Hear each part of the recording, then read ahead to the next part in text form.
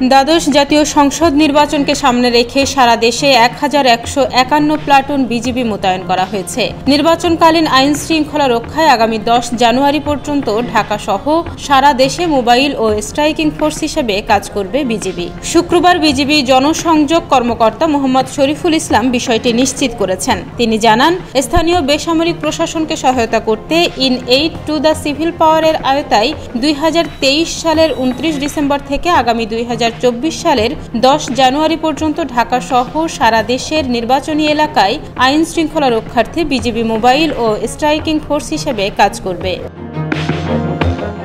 ফলে উনত্রিশ ডিসেম্বরের পরিবর্তে আগামী তিন জানুয়ারি থেকে মাঠে থাকবে সশস্ত্র বাহিনী। আইন শৃঙ্খলা নিশ্চিত করতে মোট আট দিন দায়িত্ব পালন করবেন তারা।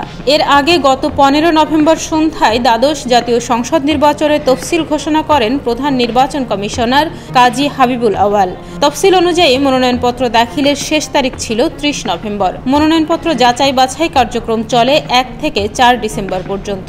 মনোনয়ন বাতিলের বিরুদ্ধে আপিল ও নিষ্পত্তি চলে ছয় থেকে পনেরো ডিসেম্বর।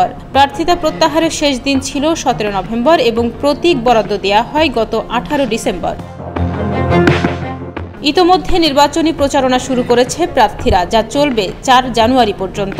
ভোট গ্রহণ অনুষ্ঠিত হবে দুই হাজার চব্বিশ সালের সাত জানুয়ারি। ডেস্ক রিপোর্ট, প্রতিদিনের বাংলাদেশ।